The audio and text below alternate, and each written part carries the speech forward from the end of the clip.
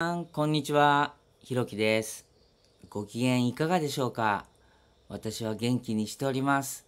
さてさて、えールーブル博物館のコレクションの続きです。現在紀元前1400年あたりを見ています。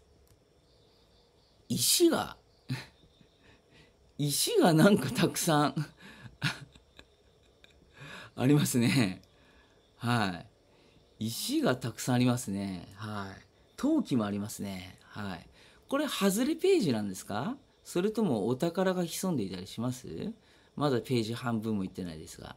はい。まあ、こういうものもね、あの、学者さんとかにとっては貴重なものなんでしょうからね。はい。そうですよね。どんな成分を使ってやっていたのかとかね。そういうところまで見る方もね、いらっしゃいますでしょうからね。だから色が残っているのかみたいなね、はい。えー、縞模様が多いですね。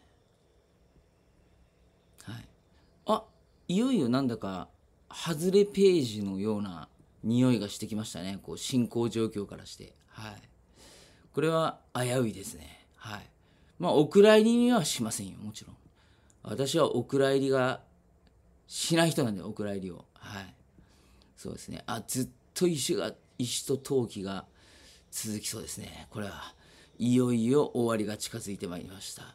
皆さん本当に申し訳ございません。今回の配信は以上となります。また次の配信または別の配信でお会いしましょう。